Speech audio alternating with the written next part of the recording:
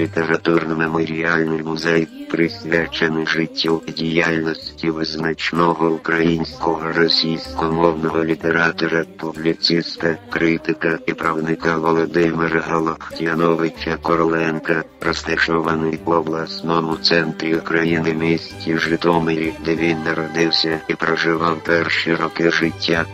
Культурно-просвітній осередок міста діє на правах відділення філії Житомирського краєзнавчого музею. Крапка, літературно-меморіальний музей. Г.